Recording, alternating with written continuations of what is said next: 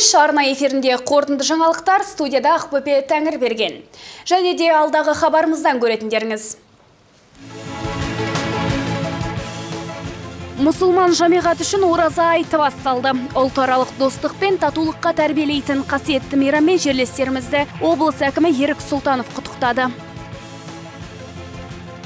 Петропавлда гидрооқшаулағыш резолин материал әзірленбек. Жаңа цехтың ашылу салтанатына өңір жетекшісі қатысты. Азия чемпионатында жерлесіміздің жұлдызы жанды. Кристина Яловенко белбеу күресі бойынша Ашқабатта күміс және қола медальға шығалады. Блок жауапкершілігі шектеулі серіктестігі жаңа өндіріс цехын іске қосты. Енді кәсіпорында гидрооқшаулағыш резолин материалы әзірленетін болады. Жаңа цехтың ашылу салтанатына өңір жетекшісі Ерік Сұлтанов та қатысты. Тілшіміз Рият Шони толықтырады. Гидрооқшаулағыш резолин материалын шығаруды блок жауапкершілігі шектеулі серіктестігі 2007 жылдан бастап қол қалған. Бүгін кәсіпорын жаңа өндіріс цехын іске қосуда. Мұнда тек резолин материалы әзірленетін болады. Материал армирован, имеет прочный... Гидрооқшаулағыш резолин материалы арматураланған. Сәйкесінше ол оңайлықпен жыртылмайды. Сонымен қатар резолин өздігінен жабысады. Арнайы желімнің қажеті жоқ. Біз материалды үш жылдай сынап сапасын байқадық. Көңілімізден шықты. Қазір өнімді Европаға да экспорттаймыз. Жаңа өндіріс цехтың ашылуына аймақ басшысы Ерік Сұлтанов келді. Облыс әкімін серіктестік басшылығы өз өнімдерімен таныстыруда. Өңір басшысы цехтағы жаңа қондырғыны іске қосып, резолин материалын шығаруға рұқсат берді. Айта кету қажет, қондырғылардың барлығын кәсіпорын өз күшімен құрастырған. Оған 10 миллион теңге қаржы жұмсалыпты. Ал жобаның жалпы құны 22 миллион теңге тұрады. Бүгін ашылған кәсіпорын гидрооқшаулау материалын жасайды. Жылына бұның екпіндігі 1 миллион шаршы метр. Оның өзі Қазақстанның 30% керектігін жауып отыр. Жаңа жұмыс орындары ашылып жатыр. Осындай жұмыстар болашақта жалғасады. Резолин материалы ультра күлгін сәулесінің 80 пайызын кері қайтарады. Сәйкесінше шатырдың бүлінбеуіне септеседі. ТМД елдерінде баламасы жоқ гидро оқшаулағыш резолин материалының жарамдылық мерзімі 25 жылдан асады. Шатырда қаптау кезінде бұған арнайы кәсіби шеберліктің немесе арнайы қондырғының қажеті жоқ. Өз күшіңізбен жұмысты тындыра беруге болады. Жаңа цехтың ашылымымен қосымша 15 адам еңбекпен қамтылды. Михаил Сенченко блок жауапкершілігі шектеулі серіктестігінде жұмыс істеп жүргеніне бір жыл болды. Айтуынша ұжым жақсы, білікті мамандардан жасақталған. Половина машины автоматизирована, половина как бы все равно Қондырғы жартылай автоматтандырылған. Материалды әзірлеу барысында ұқыпты болу қажет, өйткені бүлдіріп алуға болады. Жалпы жұмыс өзіме ұнайды, жалақы уақытылы беріліп тұрады. Жалпы серіктестіктегілер резолин материалын өндірудің қуатын арттырсақ, ел нарығын толығымен жабамыз дейді. Риат Шони Михаил Казначеев, муниципалдық телеарна. Шілденің бесі күні барша мұсылмандар асыға күткен ораза айт мерекесі басталды. Таң сәрден Қызылжар орталық мешітіне жиылғандардың қатары қалың болды. Жамағат Аллаға құлшылық етіп айт намазына жығылды. Жұртшылықты қастерлі мейраммен облыс әкімі Ерік Сұлтанов құттықтады. Міне 12 айдың сұлтаны Рамазан айы аяқталып, 29 күн ауыз бекіткен жамағат ұстаған оразаларының қабыл етуін тілеп, таңертең Алланың жердегі үйіне ағылды. Құлшылық ету орнында өңір тұрғындарын аймақ басшысы Ерік Сұлтанов ораза айт мерекесімен құттықтады. діни сауатты және рухани бай ұрпақты тәрбиелеу үшін қолайлы жағдай жасау баршамыздың ортақ міндетіміз. Отанымыздың бейбітшілігі мен татулығы өркендеп дами берсін. Қасиетті мереке әр шаңыраққа береке мен бақыт ынтымақ пен мол игілік әкелсін. Кейін Қызылжар орталық мешітінің бас имамы Дүйсенбай Кенжетай қажы жиналғандарға қасиерлі мейрамның қасиеті, маңызы және адамгершілік, бірлік тақырыбындағы уағыз насихатын айтты. Артынша жамағат болып айт намазын оқыды. Бұдан соң жиналғандар аруақтардың рухына құран бағыштап, соңын батамен қайырды. Қазақтың арасында бар ғой, жеті үйге кіру керек деп. Сонымен сөйтіп бір-бірін құттықтап, бір-бірімен аразасып болған адамдар болатын болса, бір-біріне кешірім сұрап, татуласып, өздеріне отбасына еліне жеріне бірлік осындай тілектер тілеп жатады жаңағындай. Намазды өткөріп болған соң мешітке келушілер дастарханнан дәм татты. Қасиетті рамазан айының аяқталғанын білдіретін ораза айт мейірімділіктің игіліктің бірліктің мерекесі. Бұл мейрам барша халықты ізгілікке ұйытады. Адам баласын жаман әдеттерден аулақ болуға шақырып жан тәннің тазалығын қорғауға үгіттейді. Оразамызға жеңілдік көп болды. Ауа райы да жақсы болды. Өзіміз де жақсы болдық. Бәріне аллаға ризамыз. Өткен рамазан айында мынау қалалық мешітке келіп тарауық намаздарына қатысып алла тағала тілек тіледік құранды қатым еттік. Міне отыз күннің ішінде бір күні қадір түніне келіп құрмет көрсеттік. Алла тағала құлшылық жасадық. Арнайы оған арнап намаздар оқыдық нәпіл намаздар. Халқымызға бірлік болсын патшамызға тыныштық болсын. Ауыл аймақ бота тайлақ бәрің тамам болыңдар қарақтарым. Дәрежелерің көтерілсін. Қасиетті айда шын ықыласымен ораза ұстаған жетім жесірлерге пітір садақа бергендерге мол сауап беріледі екен. Өткен 30 күнде жастар жергілікті имамдардан білім алып үгіт насихат жұмыстарына белсенді қатысқандарын айтуда. Артымыздан еріп келе жатқан келешек жастарымызға бауырларымызға айтарым әрқашан мынау дәстүрлі дінімізді ұстанып елімізге жерімізге өз пайдасын тигізетін игі жақсы азаматтардан болуларыңызды сұраймын. Сіздерді ораза айт мерекесімен құттықтаймын. Аман болыңыздар. Еліміз аман болсын. Ораза айт отбасылық мереке. Динар әлке мешітке ұлы әләмір мен қызы амираны ертіп келген. Балғындар жазғы демалыста ата әжесіне астанадан қонаққа келіпті. Асын асын асына мереке болсын басына уайым қайғы жоқ болсын. Дастархан момысын ораза қабыл болсын. Берік қасен михаил казначеев муниципалдық телеарна. Осынау маңызды діни мейрамымен жергілікті мұсылман қауымын өзге конфессия өкілдері де құттықтады. Православ және католик сенімдегілердің атынан келген құрметті меймандар мейірім мен шуақ шашқан ораза айтының маңызына тоқталып өтті. Бүгін барлық мұсылман қауымы үшін ерекше күн, үлкен мереке. Әр жыл сайын жер бетіндегі бүкіл мұсылмандар осы мейрамды ерекше көңілмен мерекелеп келеді. Барша елімізге тыныштық, халқымызға татулық тілеймін. Когда человек приходит в храм, приходит в мечеть, в церковь... Мереке күні қай дінде болмасын, ғибадат ету ғимаратына барған адам үйіне мінезі жаңарған, өзгерген, шүкіршілік артқан күйінде оралады. Себебі діни мереке күні Құдайға құлшылық етіп, дұға оқыған адамның ырысы артады. Барлық мұсылман қауымына бүгінгі мерекеде тек бақ қонсын деп тілеймін Солтүстік Қазақстан облысының құрметті азаматтарының қатары екі адаммен толықты. Бұл тізімге жерлесіміз Иван Куропаткин мен Ғазиз Исмұқанов еніп отыр. Еңбек ардагерлерінің марапатын облыс әкімі Ерік Сұлтанов салтанатты түрде табыс етіп, ақсақалдарға өзінің игі тілектерін білдірді. Тілшіміз Әйгерім Ержанова жалғастырады. Жерлесіміз Иван Куропаткин мен Ғазиз Есмұқанов көп жыл бойы өңіріміздің ауыл шаруашылығы мен құрылыс саласында қызмет етіп, еліміздің әлеуметтік экономикалық дамуына зор үлестерін қосқан ақсақалдар. Жоғары қызметтерді де лайықты атқарған. Бүгінде ел ағаларының өлшеусіз еңбектері бағаланып, қарияларға облысымыздың құрметті азаматтары атағы берілмек.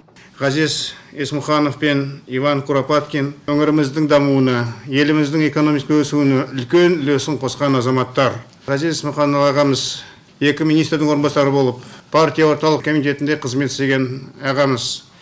Иван михайлович біздің өңірге құрылысын дамыту дамуына аянбай жұмыс істеген адам. Ғазиз Есмұқанов Мамлют ауданы Бостандық ауылының тумасы. 60 жылдардан бастап ол өңіріміздің аграрлық саласында қызмет еткен. Өмірінің 25 жылын ер азамат облысымыздың әлеуметі мен мәдениетінің дамуына, жол құрылысы мен мал шаруашылығы кешендерінің тұрғызылуына ат салысқан. Тіпті сол кездерде артынан ерген іні бауырларына жол көрсетіп, ақыл кеңестерін аямаған. Ғазиз біз Соколов ауданында, қазіргі Қызылжар ауданы қызметтес болдық. Бұл кісі атқару комитетін басқарды мен совхозда жаңа ғана қызмет сатыларын басып үлкен өмірге аяқ басқан жаспын. Сол кезде бұл кісі қолтығын алып қолпаштап тәлім тәрбие беріп жөн сілтеген азаматтардың бірі. Кейін облыс әкімі ерік сұлтанов иван куропаткин мен ғазиз есмұқановқа тиісті марапаттарын табыс етті. Мен облыстық советтің әрқашан депутаты болдым бір он жылдай.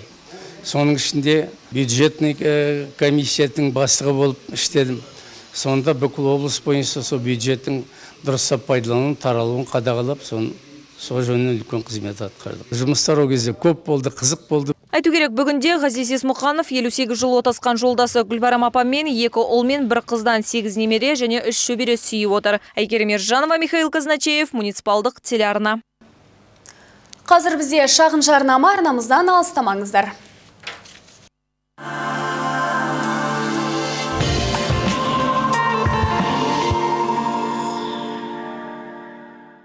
Панацея отбасылық медициналық орталығы біздің медициналық орталық тек қана кеңес беріп қоймайды.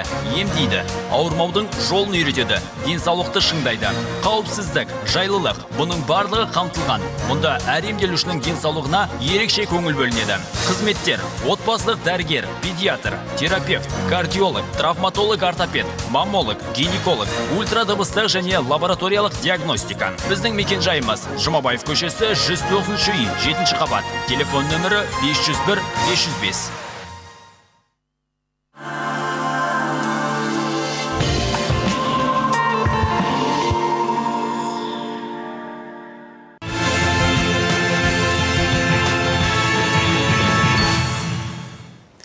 Хабарымызды жалғастырамыз. Солтүстік Қазақстанда мәжіліс депутаттары Нұр Отан партиясы фракциясы мүшелері жұмыс жасауда. Халық қалаулары облыс орталығындағы бір қатар құрылыс нысандарында болып, өңірдің кәсіпорындарын аралады. Кейін азаматтарды қабылдады. Келесі материалда толығырақ. Еркемай балабақшасы осыдан жарты жыл бұрын ел тәуелсіздігі күнінде ашылды. Мекеме 280 бүлдіршінге шақталған. Бүгінгі күні мәжіліс депутаттары Кәрібай Мұсырман мен Сергей Звольский мұндағы жағдаймен танысуда. Мынау спорт зал бұл жерде балғындар кестеге сай аптасына екі рет дене шынықтырумен айналысады. Побежали, побежали, побежали, побежали. Лучики расставляем. Ал мұнда балақайлар бас қаланың туған күніне дайындалып суретін салып жатыр. Меймандар болса, материалдық техникалық базамен танысуда. Оларды мазалайтын тағы бір маңызды сұрақ бар. По языку как там ну, преподавание уже э, идет же? Полностью преподавание у нас две группы на государственном языке обучения, да. А Также преподается английский язык, то есть трехязычие у нас есть, да. Трехязычие во всех, э, во всех 12 группах. Мәжілісмендер дағдарыс жағдайына қарамастан солтүстік Қазақстанда мектеп балабақшалары ашылатынын атап кетті. Биыл өңірде ұлттық қордың есебінен тұрғызылып жатқан екі мектеп пайдалануға берілмек. Тұрғын үй бағдарламасы да ойдағыдай жүзеге асуда. Бұл юбилейный Семашко көшелерінің қиылысы. Мұнда көп қабатты екі ғимарат тұрғызылуда. 72 пәтерлі үйді Дорстрой-Трест компаниясы көтеруде. Ал 126 шаңыраққа арналған баспананың кірпішін Рулан сервис ЛТД серіктестігі қалауда. Нысандарды қазақстандық ипотекалық компаниясы салуда. Жоспар бойынша екеуі де тамызда қолданысқа беріледі. құрылыс барысы графикке сай жүргізілуде үшінші тоқсанда пайдалануға береді. Бұл арендалық коммуналдық үй болады. Және салынып біткеннен кейін күзде қалалық әкімдіктің балансына беріліп сонда кезекте тұрғандар азаматтар осы жерден үй алып қоныс тойын тойлайтын болады. Ә, мұның бәрі біздің еліміз жалпы біздің солтүстік қазақстан облысында құрылыс қарқыны жақсы деңгейде жүргізілуде. Бұл осы бес айдың қорытындысы соны көрсетіп отыр. Халық қалаулылары Қазтехмаш зауытына барып, Нұр Отан партиясы филиалында азаматтарды қабылдады. Ақбөпе Тәңірберген, Александра Салмина, Михаил Казначеев, муниципалдық телеарна.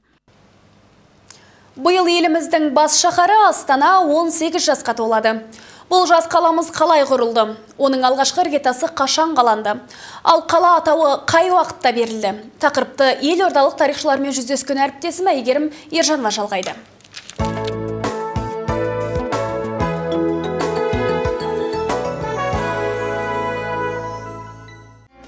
Тарихқа көз жүгіртсек, Астана қаласының алғашқы іргетасы 1831 жылы Есіл өзені бойындағы қара өткел тұсында қаланған. Дәл осы жылы Ақмола ішкі округі ресми түрде жарияланып, Қоңырқұлжа Құдаймендұлы оның аға сұлтаны болып тағайындалды. бір мың сегіз жүз отыз бірінші жылдан басталды құрылысы Ә, кейін қала өсті ә, жерді ә, алды Ес- есілдің сол ә, оң жағалауын әсіресе 1862 жылы Ақмолаға қала мәртебесі беріліп, осы жерде өткізілетін жәрмеңкелердің арқасында бұл шаһар кеңінен танымал болады. Қазақстанның барлық аймағынан Ресей мен Орта Азиядан келген саудагерлер осында жиналған. Тың жерлерді игеруге байланысты қала Целиноград болып ауыстырылды да аграрлық аймақтың әкімшілік орталық атағына ие болды. Осылайша қаланың атауы 20 ғасырдың 92 жылына дейін еш өзгеріссіз сақталған. Ал 1998 жылға 6 мамырға дейін Ақмола деп аталған Астана президенттің жарлығымен 1997 жылғы 10 желтоқсанда Қазақстан Республикасының елордасы деп жарияланды. Ал 1998 жылдың 10 маусымында еліміздің астанасының халықаралық ашылу салтанат өтті. бұл ә, стратегиялық жағынан өте маңызды орын қазақстанның енді мына географиялық бір орталығы десек болады сауда қарым қатынастарына да өте ыңғайлы өйткені оңтүстік пен солтүстік батыс пен шығыс арасы осы жерде қосылып жатыр Ә, қазақ этносының ұлт есебінде жаңа дәуірдің жаңа ұлт есебінде қалыптасуына да өте ыңғайлы. Өйткені бұл астана арқылы біз европамен да байланысып жатырмыз қытаймен да байланысып жатырмыз оңтүстік өлкелермен де байланысып жатырмыз. Еуразия жүрегінде орналасқан еліміздің бас қаласы астана биыл 18 жасқа толып отыр. Бұл уақыт аралығында елордамыз әлемге танылған шаһарлардың қатарына енді. Бұл қаланың қазіргі көрінісі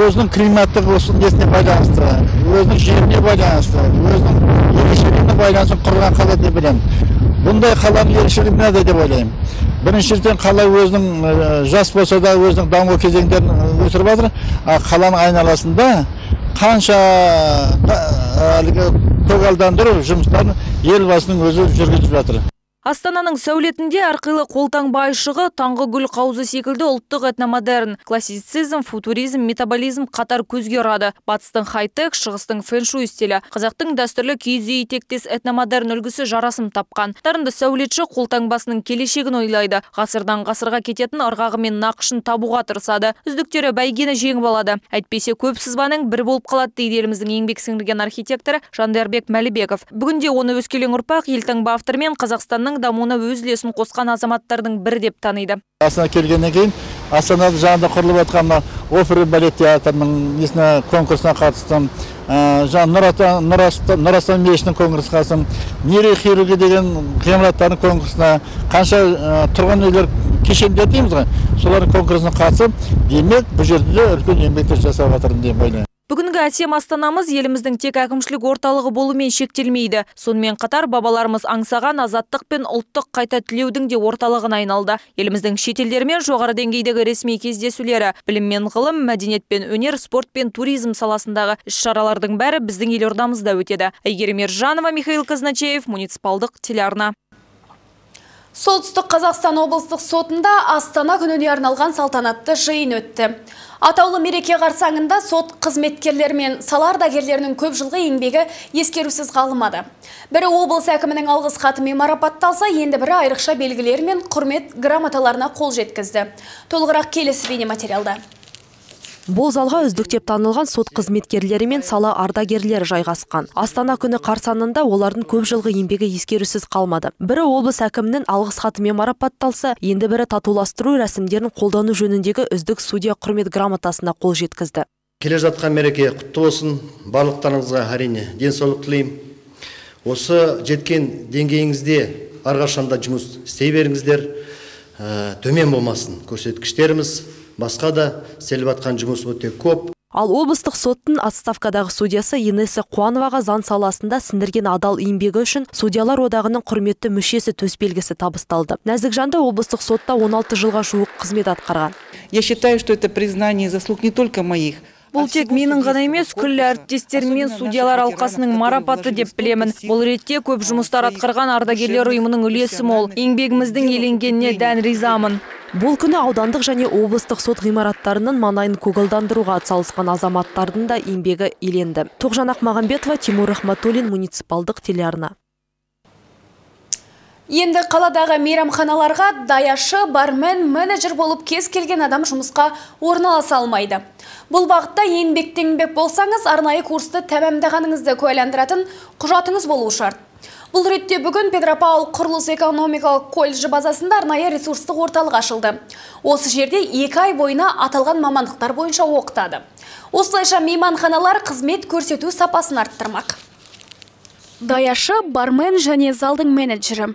Енді бұл бағытта қала мейманханаларында еңбектенгісі келетін кез келген азамат бірінші арнайы курстан өтеді. Ал мамандарды енді Петропавл құрылыс экономикалық колледжінде бес бірдей оқытушы дайындамақ. Бүгін міне аталмыш оқу орнында технология бөлімі ресурстық орталығының ашылу туралы келісімге салтанатты түрде қол қойылды.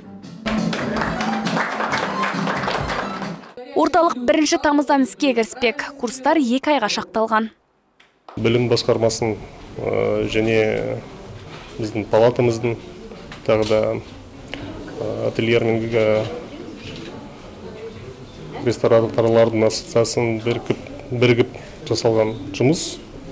Бұл жұмыс негізінде мынау білім басқармасының бірге қол қойған меморандум арқасында жасалып жатыр. Келешекте осындай жұмыстар басқа салаларда сол жақта жұмыс жасаймыз Білім алушылар бірінші айда колледжде теория жинақтаса, қалған мерзімді тәжірибеге арнамақ. Ол үшін бүгін жиылған қаладағы мейрамхана иелері есіктерін айқара ашуға келісімін беріп отыр. Олар осылайша сапаны арттырып, келушілерге жоғары дәрежелі қызмет көрсете алатындарына сенімді готовить для наших кафе и ресторанов. Қаладағы мейманханалар мен барларға білікті, дайын маман дайындау әу бастан көзделген. Бізге сапалық қызмет көрсететін даяшы, әкімгер, менеджерлер керек. Айта кетейін, ресурстық орталықтың жұмысы жүйеленгеннен кейін жергілікті мейманханаларға осы курсы тамамдағаны туралы куәлігі бар адамдарды ғана қабылдаймыз. Екі ай курсты тәмамдаған адам мынадай куәлікке ие болады. Оған қол жеткізу үшін екі ай уақытыңыз бен 47 мың теңгеңізді сарп етуге тура келеді. Есесіне жұмысқа бірден орналасуға мүмкіндік бар. Ақбөпе Тәңірберген, Жұлдызбек Ермұханов, муниципалдық телеарна.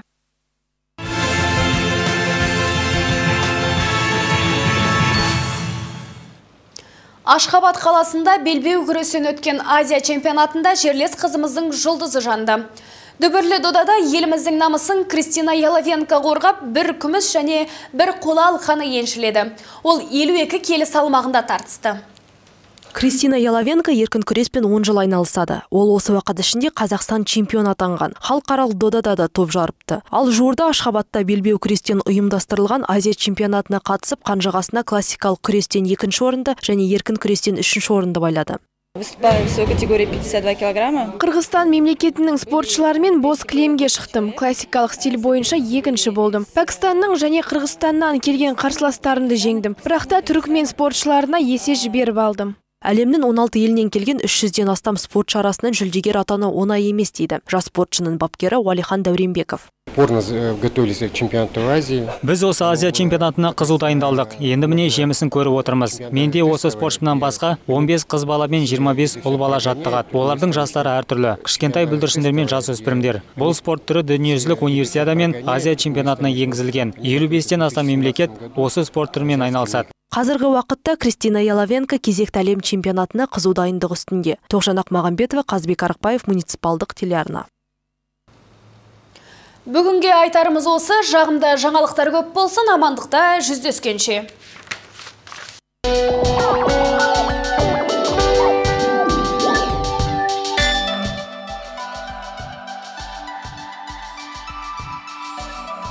Сәрсенбі шілденің алтысына арналған ауа райы мәліметі. Түнде ауа температурасы плюс 18, плюс 20, күндіз плюс 22, плюс 24 градус болады. Күн ашық, солтүстік батыстан соққан желдің екпіні секундына 2 метрге дейін жетеді.